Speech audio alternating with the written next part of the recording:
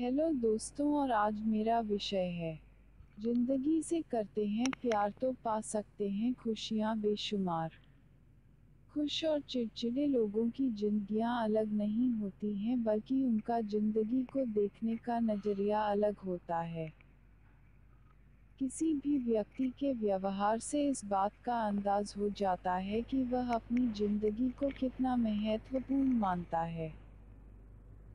कुछ लोग जीवन में हर चयन को लेकर बहुत सावधान होते हैं क्योंकि वे अपने जीवन को तमाम चीज़ों से अधिक महत्व देते हैं।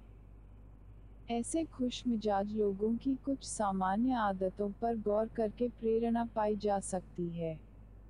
वे स्वयं को दूसरों की तरह बनाने के फेर में नहीं पड़ते। वे दूसरों के नहीं अपने प्रति ही उत्तरदायी होते हैं। उन्हें इस बात की प्रतीक्षा नहीं होती कि कोई उनकी तारीफ़ करेगा तभी वे ज़िंदगी को उस तरह से जिएँगे। वह न आलोचना से डरते हैं और न प्रशंसा से अपना रास्ता बदलते हैं। वे कोई भी काम इसलिए करते हैं क्योंकि वह उन्हें पसंद होता है। वे किसी भी काम को ढूंढते नहीं हैं। किसी भी दूसरे व्यक्ति के दृष्टिकोण के मुकाबले वे खुद की दृष्टि को प्राथमिकता देते हैं। अपने अनुभवों के अनुरूप ही अपने निर्णय लेते हैं। वे अपने दोस्तों से प्यार करते हैं और उनकी सोबत पसंद करते हैं, लेकिन वे उन पर बहुत ज़्यादा निर्भर नहीं होते।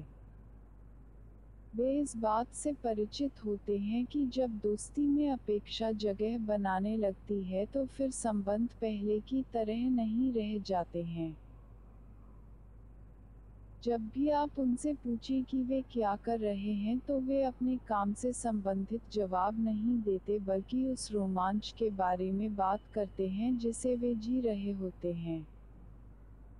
वे आपको उन जगहों के बारे में बताते हैं जहाँ वे जाने वाले होते हैं या फिर जहाँ के रोमांचक अनुभव से गदगद होते हैं।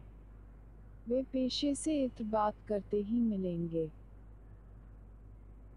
वे किसी समुदाय या धर्म से बंधे नहीं होते और अपनी फिलॉसफी से ज़िंदगी जीते हैं। वे बंधे बंधाए विचार के बजाय अपने अनुभवों से ज़िंदगी को देखते और तराशते हैं। चीज़ों के लेकर इस तरह के लोगों के मन में डर नहीं होता। वे जानते हैं कि चीज़ें समय के साथ बदलेंगी और वे इस बदलाव से अवगत होते हैं। वे चीज़ों को निराशा के भाव से नहीं, उम्मीद से देखते हैं और बदलावों का स्वागत करते हैं। इस दुनिया को वे एक आकर्षक नाट्यमंच की तरह देखते हैं जहाँ वे एक पात्र की भांति हैं और हर घटना को पूरी तरह जीते हैं। वे सिर्फ़ एक ही चीज़ से बंद कर ज़िंदगी पूरी नहीं बिताते बल्कि अपनी रुचियों को विस्तार देने में भी कामयाब होते हैं। वे मौजूदा क्षण को जीते हैं लेकिन भविष्य को लेकर उनके पास कुछ सपने ज़रूर होते हैं। हालाँकि वे सपनों के पीछे भागते नहीं लेकिन सहज रूप में उन्हें पूरा करने की कोशिश करते हैं।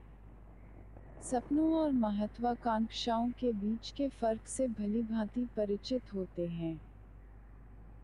वे दूसरों को बदलने की कोशिश में नहीं रहते बल्कि इस बात को सीखने का प्रयास करते हैं कि उनके साथ निभाह कैसे किया जाए। वे मानते हैं कि लोग किसी के कहने से नहीं बल्कि अपनी ज़रूरतों और अपने अनुभवों से ही बदलते हैं। Thanks guys please subscribe to this channel